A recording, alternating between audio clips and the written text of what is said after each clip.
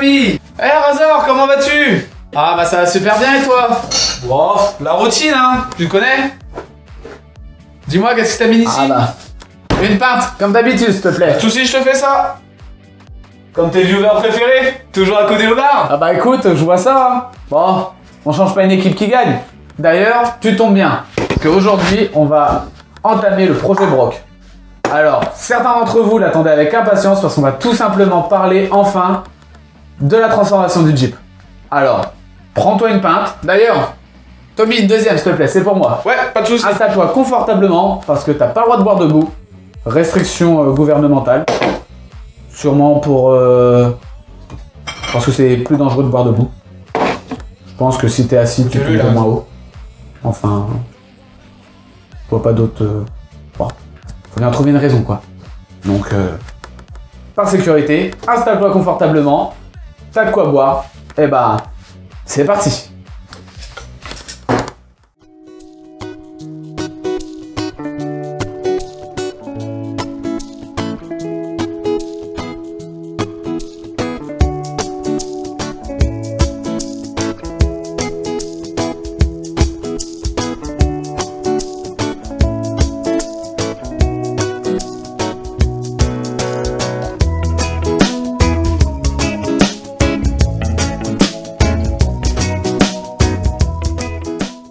Du coup, on se retrouve pour parler, comme je l'ai annoncé, de la transformation du Jeep avec deux grandes parties, une tirée sur la mécanique et une tirée sur l'aménagement. Avec, pour la partie mécanique, une, grosse rénovation du moteur et puis tout ce qu'il y aura euh, aux alentours euh, qui concerne la mécanique. Euh, parce qu'on sait qu'il démarre. Si tu le sais pas, c'est que t'as pas vu la première vidéo, c'est que t'es pas un vrai. Donc je te conseille d'aller la checker juste après celle-là. Donc je mettrai le lien dans la description. Comme ça, bah, tu sauras un peu plus euh, tous les projets qui vont se dérouler en fait sur la chaîne. Et du coup, une deuxième partie sur l'aménagement où là, on va voir euh, toute la fabrication des caissons de rangement et puis bah, de la partie dortoir pour savoir bah, comment on va dormir, tout simplement. Je suis con. Euh, et euh, du coup, bah, avoir notre bordel organisé euh, dans le Jeep pour pouvoir transporter tout ce qu'on aura besoin durant le voyage. Du coup, bah, par rapport à ça, on va commencer par l'aménagement parce que malheureusement, j'ai pas pu commencer par la mécanique à cause du Covid et de tout le bordel qu'il y a autour. j'ai pas encore les pièces mécaniques. Du coup, bah, pour ça, on va pas pouvoir commencer la rénovation, même si j'aurais préféré. Au moins, on serait parti sur une base saine qui est déjà le Jeep qui est déjà prêt et tout ça.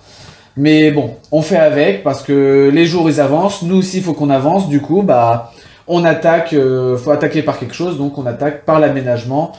Euh, et puis, bah, on reviendra ultérieurement sur la partie mécanique dès qu'on pourra. Aujourd'hui, on s'attaque donc à la première partie de l'aménagement du Jeep. On va tout simplement faire une modélisation 3D euh, sur ordinateur de toute la partie aménageable du Jeep. Euh, après, euh, voilà, faut pas s'attendre à un truc euh, exceptionnel. Je suis pas un professionnel dans le domaine. Au contraire, je débute. Euh, et puis, euh, bah, du coup, là, j'utilise euh, le logiciel Google SketchUp. Ça me va super bien. Les petits logos euh, sont facilement compréhensibles. Donc, pour un teubé, c'est facile. Franchement. Après, je dis pas si tu n'y arrives pas que t'es teubé. Hein. Loin de là. hein. M'em- M'embrouille pas, hein, s'il te plaît. Après, c'est encore différent. hein. Après, tout est écrit. hein. Mais bref, oublie. Euh, on est tous dans le même bateau, hein, comme on dit. J'ai pris les mesures au préalable. Hein. Euh, je te la fais juste ici, euh, à peu près toutes les, toutes les dimensions de base qu'on aura besoin pour avoir un peu l'espace à aménager. Et du coup, bah, toute la partie détaillée du Jeep, il y aura pas, hein, faut pas, faut pas se fleurer. Donc les roues, le moteur et tout ça, On bat les couilles, frère. voilà. Comme Caris l'a dit, euh, on s'en fout. Du coup, euh, vraiment, ce qui nous intéresse, c'est la partie du coffre jusqu'à la banquette arrière qu'on va retirer pour gagner encore un peu de place.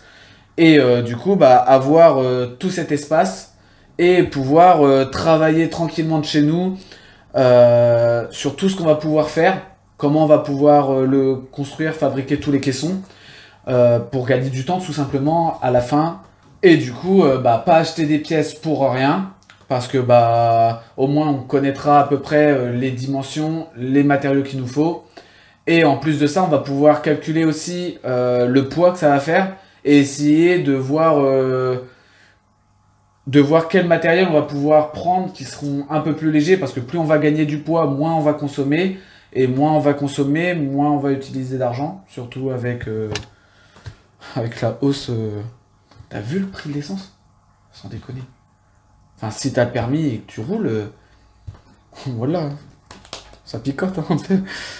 franchement, ça. Bref.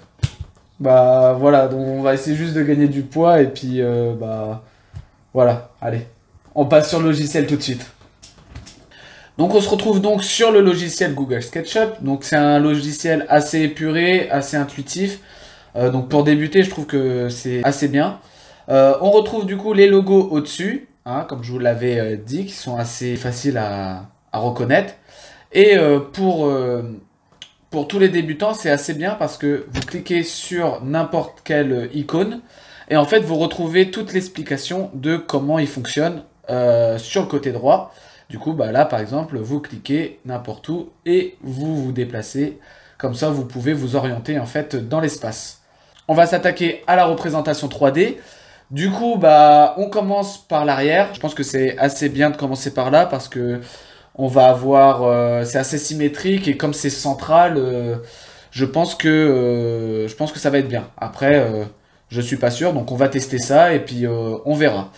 Du coup, bah, on va lancer et prendre, donc retranscrire les mesures. Donc je vais les afficher sur le côté en même temps pour qu'on essaye de voir en direct ce que ça rend. Et du coup, donc on prend le petit mètre, on clique, et donc là pour la première partie, donc on est à 50 cm. Donc bien entendu, c'est pas compliqué. On glisse sur la hauteur. Il y a la hauteur là qui s'affiche, donc par exemple 50 cm. On clique, le point s'affiche. C'est génial, c'est facile. Et pour tracer le trait, vous appuyez sur le petit crayon, le premier point jusqu'au deuxième. Et voilà, c'est super, on a le premier trait. Euh, par contre, celui-là, il servait à rien parce que c'est la hauteur en fait euh, du Jeep, donc il euh, faudra l'effacer. Mais bon, au moins vous avez vous avez le la version comment ça marche. Du coup, bah là, je vais pas je vais pas tout mettre, on va faire un petit accéléré pour vous, ça sera plus facile et on se retrouve tout de suite dès que l'arrière est fini.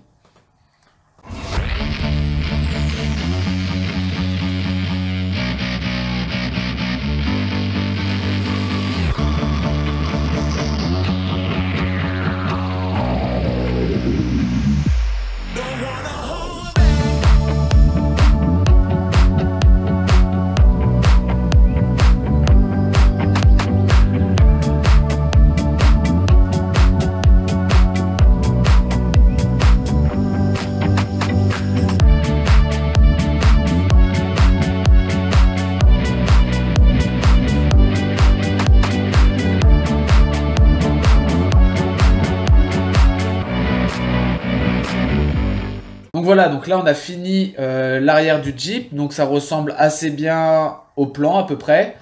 Euh, du coup là ce qu'on va faire c'est qu'on va adoucir les coins, euh, les arrondir comme ils sont sur le Jeep. Donc pour ça on utilise juste l'outil arc de cercle et puis bah on suit les instructions. Donc là on a juste à appuyer d'un point A à un point B et hop on trace. Tac l'arc de cercle. Après, on a juste à utiliser la gomme. Et voilà, l'arc de cercle, il est fait. Alors, il y a juste un petit détail qu'il faut penser. C'est que, donc, sur le profil du Jeep, on peut voir que euh, y a un angle. Donc, euh, qu'on n'a pas fait ici. Là, on est sur une face plate. Du coup, euh, là, ce qu'il va falloir faire, c'est mettre l'angle du 4x4 avant bah, avant de procéder au, profil, parce que du coup, après, on va être, euh, on va être vachement emmerdé, parce que bah, on aura un Jeep plat, alors que cette, euh, cette partie-là, elle n'existe pas en réel. Du coup, on va s'attaquer à ça tout de suite, et, euh, et, on arrondit les angles, et puis ça sera déjà pas mal pour cette partie-là.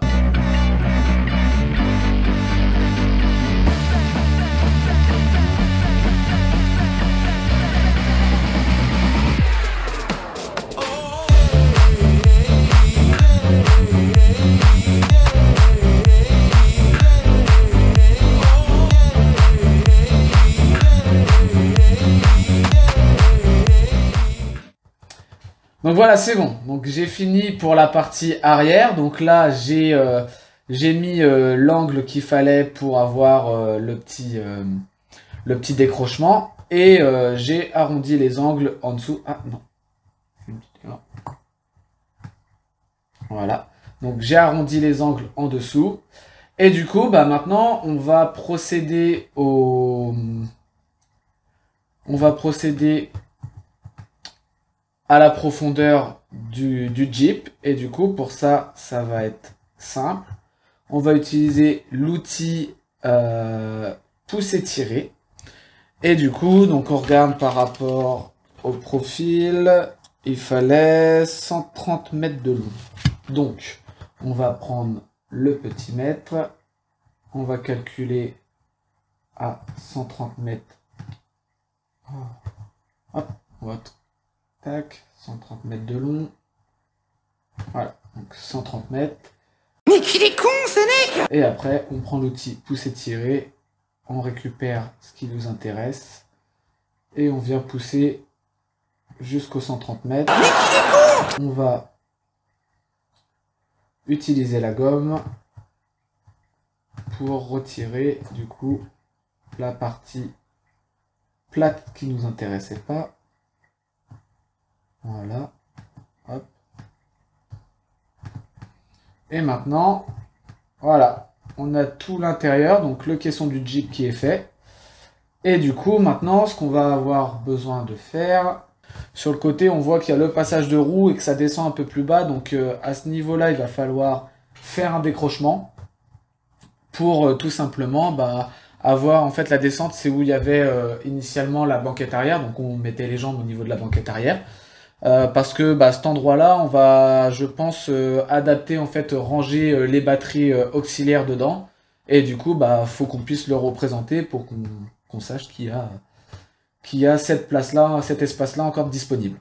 Donc euh, du coup, bah, on continue euh, sur cette lancée-là. On va faire aussi, euh, on va redessiner aussi les vitres et et puis détailler un petit peu plus pour voir l'espace final.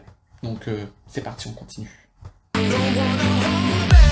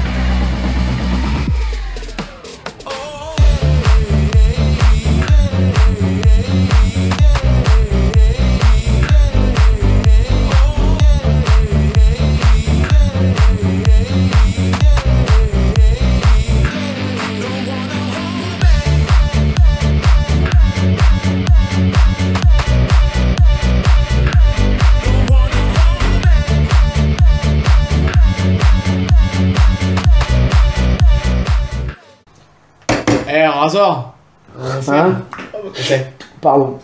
Oh putain, je me suis assoupi. Eh, t'as vu? Ils sont toujours là Peut-être que t'attends que je te montre le résultat final quand même. Parce que t'as pas vu toute la vidéo pour, euh, bah, pour euh, pas voir l'aboutissement. Du coup, bah, je te montre ça tout de suite. Puis après, euh, on dégage parce que sinon je vais me prendre un coup de pied au cul. Donc, pour aujourd'hui, on va s'arrêter. On a déjà bien avancé sur la modélisation, on a toute la structure finale. Euh, du coup, bah, dis-moi dans les commentaires si cette structure elle est ressemblante au plan, à peu près. Et euh, si tu sais à quoi ressemble le cul d'un Jeep, bah dis-moi aussi si c'est représentatif euh, à peu près d'une réalité de, ce magnifique véhicule. Et du coup, bah, pour la prochaine vidéo, on verra donc l'aménagement, donc comment on va créer les caissons pour, euh, bah, pour aménager tout cet espace. Et euh, bah, sur ce, euh, je te laisse avec ces quelques images. N'hésite pas à t'abonner pour suivre la suite de- des aventures et à activer la petite cloche. Laisser un petit j'aime si tu as aimé. Et n'hésite pas à me donner, si tu as des conseils sur la modélisation, n'hésite pas à me les mettre aussi dans les commentaires, j'irai voir. Sur ce, bah, on se dit à la prochaine pour de nouvelles aventures. Peace.